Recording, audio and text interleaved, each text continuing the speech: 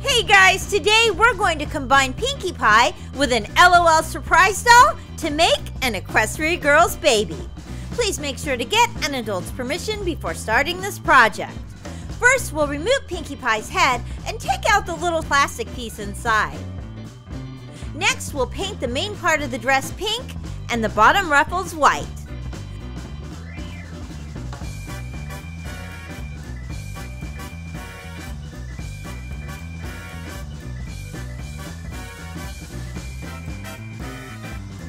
We'll paint the top blue.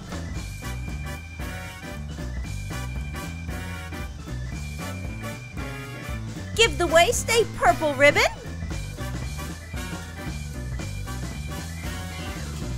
And paint on a heart and some pretty balloons.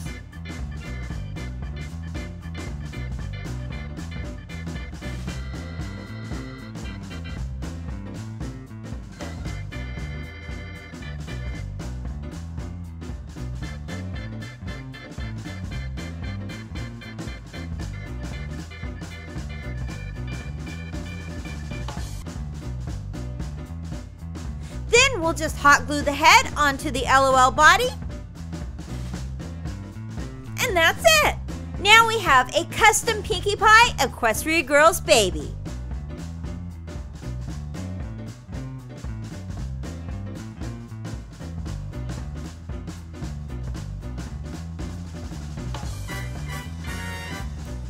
That's all for now. Thanks for watching. Please be sure to like this video and subscribe.